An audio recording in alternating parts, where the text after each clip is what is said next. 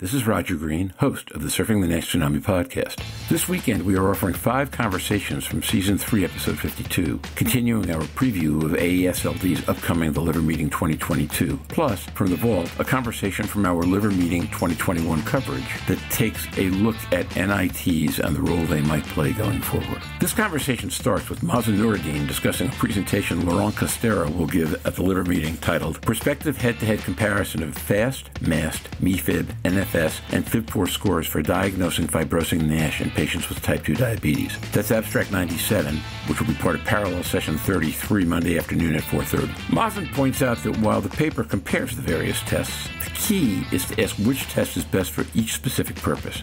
That said, in general, these results show that MAST and FAST perform better than the other three tests in terms of area under curve, and that MAST has an indeterminate range or gray zone of around 20%, as compared to 44% with MAST and MEFIB. He suggests this means the researcher will need fewer biopsies to classify patients using MAST and MAST in clinical trial screening, and also that MAST should score better on true classification. At that point, I refer back to our conversation last week about which test to use at different points in the patient screening process. Mazen describes this as a loaded question, noting that while he has issues with FIB4, it is probably the best primary test at the current time. He repeats Stephen Harrison's question from last week about whether we should start primary screening with FibroScan instead of FIB4. And as the session ends, Jorn Schattenberg praises the paper, suggesting that discussion around proper clinical use will continue, and notes that the goal of this paper to contribute to the discussion of the value of each test and to ask which is best and how to improve is the true task of the academic. Our last three episodes of the podcast provide a pretty robust preview of what we are about to hear at the liver meeting starting Friday. Actually, by the time these post, we'll be well into the meeting already. So listen, enjoy,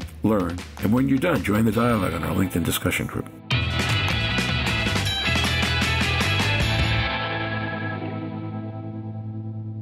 Let's dive into the meeting. You all know the format from last week if you're a listener or from past events if you're a participant. Grab one poster or presentation abstract that you think will be extremely important or helpful in the meeting and share with us what that's about and why you chose it. Please take about three minutes, four minutes to do that. The rest of us will have questions. Brave one, go first. Mazen, I know you came pre prepared. You sent me a list already. So if you want to go first, go ahead. Or Louise, were you coming off mute to do that? Either one of you. Louise Campbell. I'll let Mazen go. He's got a pre prepared list.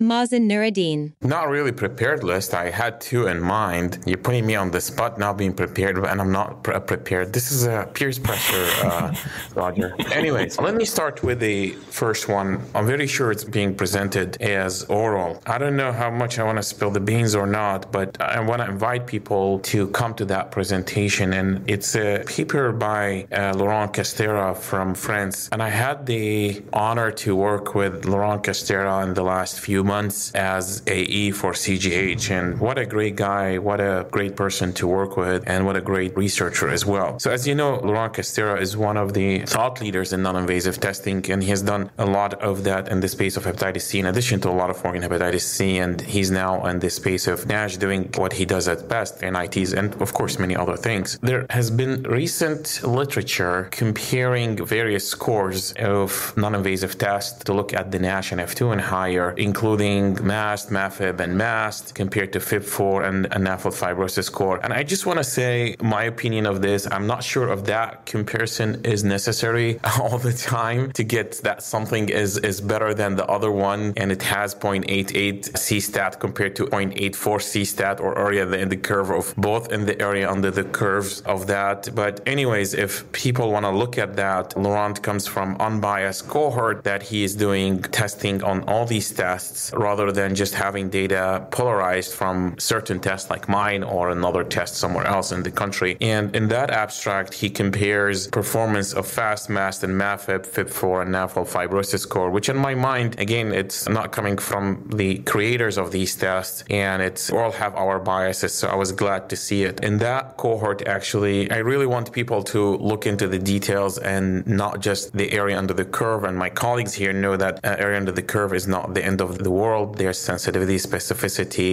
NPV and PPV, as well as through classifications of each score. And people need to look beyond the just area under the curve one figure and, and make their conclusion, especially what they're using the test for. So again, I don't want to ruin the presentation, but basically in a quick snapshot on of the table that he had in the abstract, there was FAST MAST MEFIB, FIB4, and NAFL fibrosis score. Again, to look at NASH and F2, you can train FIB4 and NAFL fibrosis scores to have a cutoff to do that, and we have done that before. And the area under the curve should not look at that only, but I'll start with that. It was very high for FAST 0.82, followed by MAST 0.79, and they were statistically not significant. Good news because, as you know, that FAST is, I think, it's an evolving, emerging test and very helpful, especially as pre-screening for clinical trials, and it's the least costly compared to the MRI. MEFIB actually came much lower at 0.69, and they were both better than MEFIB in terms of the area under the curve. So it was good to see that literature coming from someone else, not from us, the creators of this course. But I also want to highlight the PPVs, and MAST did the best, followed by the FAST score, and the least was actually the MEFIB. To me, I was quite excited about the gray zone that MAST showed, which was 20% compared to FAST and MEFIB that they were in the 44%. And to me, this is a huge because if you have such a narrow indeterminate zone, you're going to do way less biopsies. And someone can look in the true classification, which in my mind, I think it's Aon is, is, is a very good statistician and researcher. And I think it's true positive plus true negative divided by the entire true. And I think they will come up, if you do it here, it'll do very well for MAST because of the low indeterminate zone and will save cost. It was good to see this data in the context of the recent literature. But at the end of the day, I wrote an editorial or letter to the editor recently for JHEP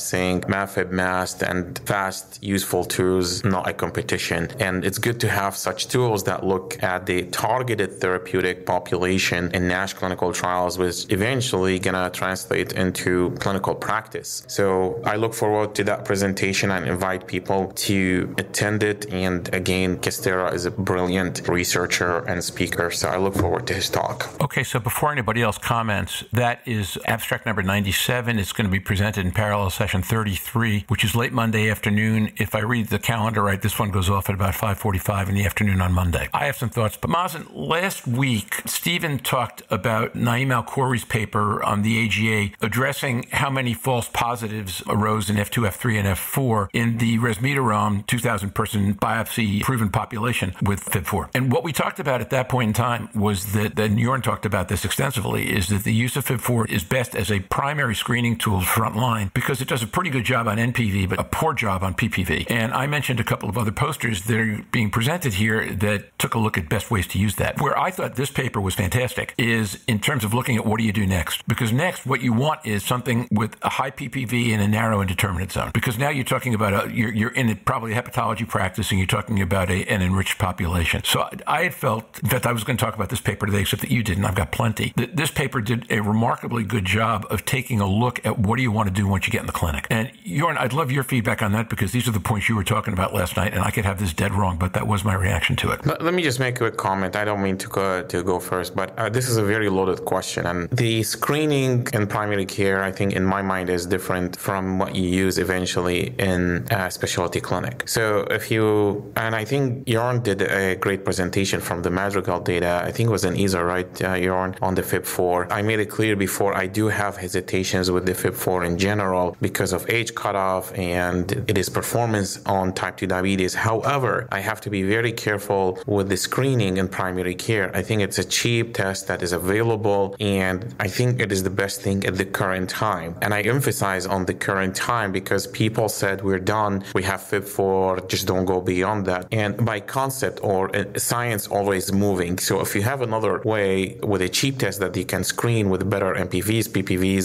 under area under the curve, yada yada, the overall accuracy, you should always be open minded for that. Machine learning is evolving on that, and I don't want to go to, to that right now. The PPV with the MRIs are better than FibroScan or FAST in this presentation. That does not mean I'm proposing for them to be used for screening the general population. And without doing cost effective analysis, I know that probably would not be cost effective analysis. I'm interested to hear others, but the question is should we use a FAST score as a follow up for FIB4 or even as a first test? We already published data that the fibro scan, like the our cost effective analysis that the AGA cited as a tool to screen started with intransient elastography. It did not start with a FIB4. That's one question. And the other point is my understanding with the transient elastography that now they have cheaper options that can be adopted, like the FibroGo, I think, or something that can be adopted in maybe even primary care clinics. It's a lot to talk about. I could be wrong in certain areas and others, but I think this is ongoing debate. But for sure, I will not use MRIs for screening. For sure, those will be, I, I think the place, for instance, for MAST, it will be the best probably to save cost in clinical trials when you're screened because you're going to perform way less biopsy in phase threes compared even to transient elastography. There's 10 to 44% difference in the indeterminate zone, but it not the MRI's place is not screening in the general population. Jörn Schattenberg. Mazen, this is a great paper. I thank you for raising it. You know, it is the true academic,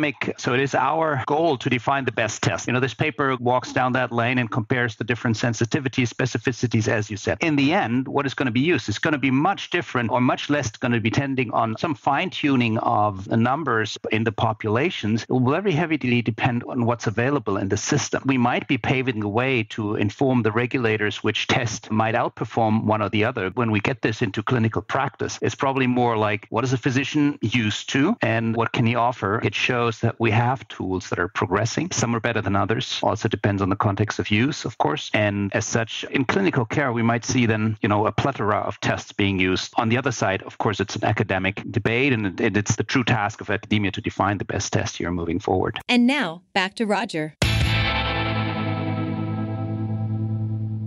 We hope you've enjoyed this recording. If you have any questions or comments about the content of this conversation or the entire episode, please send an email to questions at surfingnash.com. We will be back Monday and Tuesday afternoons Eastern U.S. time with daily review episodes, Monday for the weekend and Tuesday for Monday at the liver meeting. And we will have a summary of key points from those two episodes on Wednesday evening. Until then, stay safe, surf on. We look forward to seeing you on the podcast. Bye bye now.